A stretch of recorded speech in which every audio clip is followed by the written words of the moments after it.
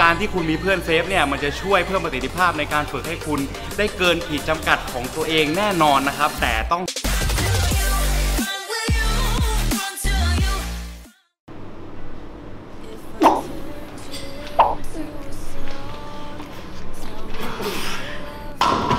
ไหมครับ ถ้าเราเล่นคนเดียวแล้วไม่มีคนเซฟเนี่ยอย่างแรกอาจจะเกิดอันตรายได้ อย่างที่ 2 กล้ามเนื้อทำงานได้ไม่เต็มที่อีกต่างหาก ประโยชน์ของการที่เรามีคนเซฟนะครับทำให้เพื่อนของเราเวลาฝึกแล้วฝึกได้เต็มที่ทำให้กล้ามเนื้อทำงานได้มีประสิทธิภาพสูงสุด นั่นหมายความว่าสร้างกล้ามเนื้อได้ดีขึ้นนั่นเองครับ อีกอย่างหนึ่งจะมีความปลอดภัยให้กับเพื่อนของเรามากๆนะครับทำให้เพื่อนของเราเนี่ยกล้าที่จะฝึกได้มากขึ้น แล้วก็ไม่เกิดอันตรายกับเพื่อนของเรานั่นเอง เพราะฉะนั้นวันนี้นะครับใครที่เคยเซฟเพื่อนอยากให้มาเช็คกันดูนะครับว่าเราเซฟเพื่อนถูกต้องหรือเปล่า มาดูกันครับไอ้เพื่อนเซฟดีๆนี่เซฟกูเป็นกระหังเลย เวลาเซฟนะครับ พยายามอย่าเซฟตั้งแต่ครั้งแรกนะครับ ให้เป็นครั้งท้ายๆ เช่นเราตั้งใจจะฝึก8ถึง10 ครั้งกะจังหวะที่เซฟที่ดีที่สุดจะอยู่ประมาณครั้งที่ 9 หรือครั้งที่ 10 นั่นเองนะครับ อย่าเซฟตั้งแต่ครั้งที่ 2 3 4 แบบนี้นะครับไม่ได้ทำให้กล้ามของเพื่อนโตเลยนะครับกลับกลายเป็นกล้ามเราที่โตเองจากการเซฟนั่นเองนะครับ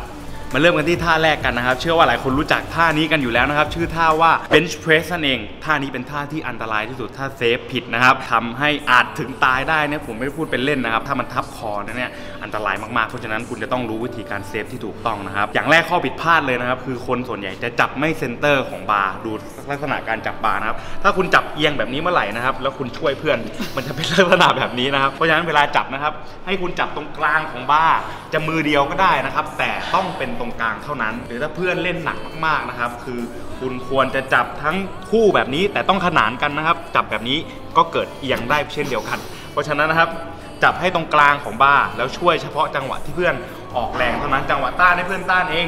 ปุ๊บจังหวะออกแรงนะครับ เพื่อนเล่นไม่ไหวผมก็ต้องช่วยนะครับ ไหวไหมเนี่ยไม่ไหวไม่ไหวนะฮะโอ้ยน่าสงสารจริงๆเลยนะฮะครับท่านี้นะครับจำเป็นที่จะต้องเซฟให้ถูกต้องเดี๋ยวเราไปดูท่าต่อไปกันเลยนะครับ มาดูท่าที่2กันเลยนะครับ ชื่อท่าว่าผูอัพหลายคนเซฟผิดวิธีนะครับคือไปจับข้อเท้าเพื่อนแล้วเซฟทำให้ตัวแกว่งไปแกว่งมานะครับเดี๋ยวผมทำให้ดูว่าเป็นยังไงนี่นะฮะไปเซฟเพื่อนแบบนี้นะครับทำให้ไม่โดนนั่นเองพยาแรงเลยเนี่ยกู วิธีการเซฟที่ถูกต้องนะครับสำหรับท่านี้มี 2 จุดเท่านั้นคือจะเป็นหลังช่วงปีกนะครับ ดันเฉพาะตอนที่เพื่อนออกแรงปุ๊บแรงต้านให้เพื่อนต้านเองออกแรงดันขึ้นไปเป็นลักษณะแบบนี้ อีกจุดหนึ่งที่สามารถเซฟได้เช่นเดียวกันนะครับ ให้เพื่อนงอเข่านะฮะแล้วจับที่เข่าจังหวะที่เพื่อนออกแรงเหมือนกันให้เพื่อนต้านเองปุ๊บออกแรงครับเป็นลักษณะแบบนี้นะครับ ไหวไหมปวดหลังนะเนี่ยครับ เดี๋ยวไปดูท่าต่อไปกันเลยนะครับ ท่าต่อไปนะครับคือท่าสควอตวิธีการเซฟที่ถูกต้องเนี่ยถ้าเล่นไม่หนักมากนะครับ เราสามารถจับตรงนี้นะครับ ทั้งคู่แบบนี้แล้วเซฟเพื่อนแบบนี้จังหวะที่เพื่อนออกแรงอ่าลงไปลงลึกปุ๊บออกแรงเขาไม่ไหวปุ๊บ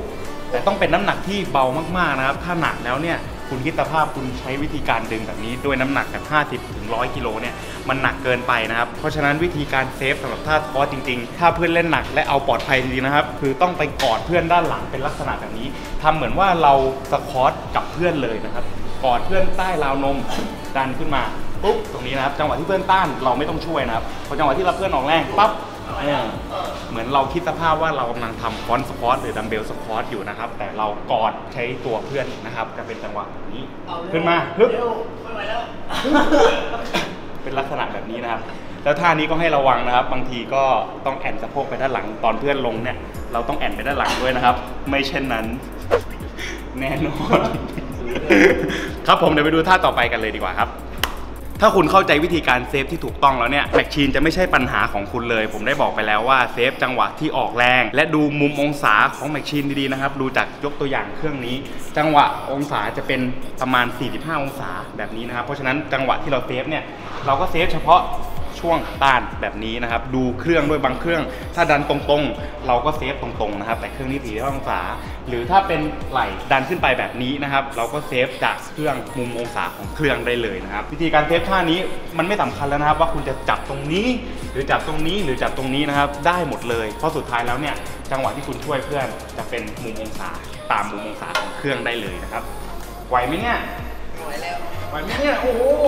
โอ้ยดันไม่ไหวแล้วดูนะครับผม ก็เครื่องทุกเครื่องเอาเป็นว่าไม่ใช่ปัญหาในการเซฟเพื่อนอีกต่อไปแล้วนะครับ ยิ่งเคเบิลนะครับ ยิ่งเซฟง่ายเข้าไปใหญ่เลย เพราะว่าดูมุมองศาของเคเบิลดีๆ ดูว่าเพื่อนฝึกท่าอะไรนะครับ ถ้าเราเข้าใจตรงนี้แล้ว เราจะเซฟได้ง่ายขึ้นมากๆนะครับดูจังหวะที่เพื่อนออกแรงนะครับท่า triceps pushdown จากบนลงล่างแบบนี้นะครับ เพราะฉะนั้นการเซฟเนี่ยตอนต้านเราไม่ต้องเซฟแต่จังหวะที่เราออกแรง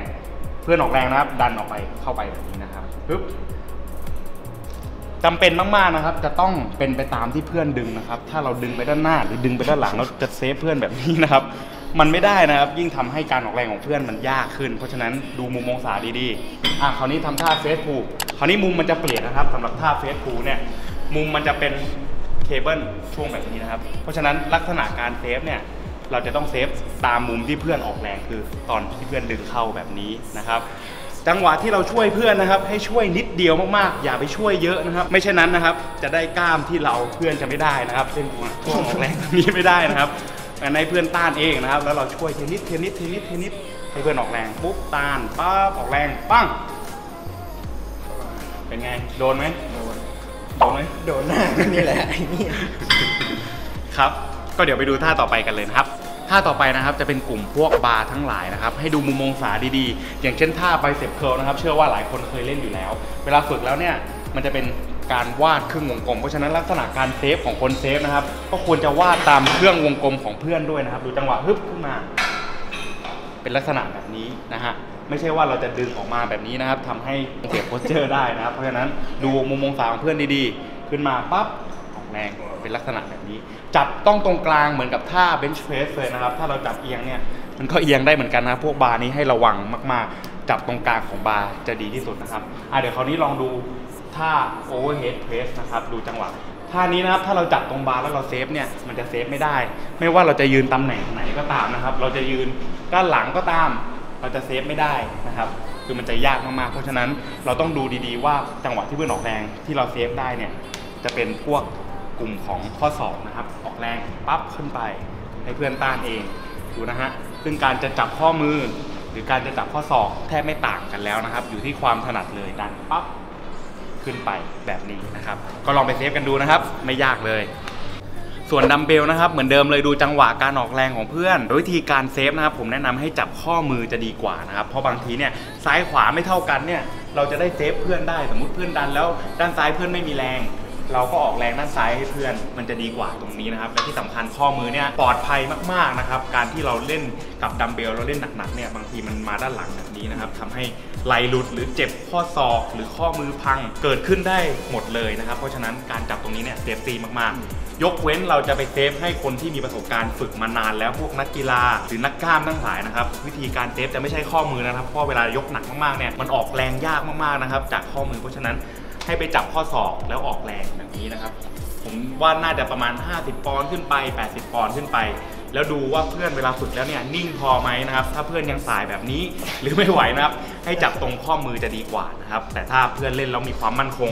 จับข้อศอกไปเลยครับ แล้วออกแรง เฉพาะตอนที่เพื่อนออกแรงต้านเพื่อนตาเองออกแรงปั๊บขึ้นไปปึ้งขึ้นไปลักษณะแบบนี้นะครับ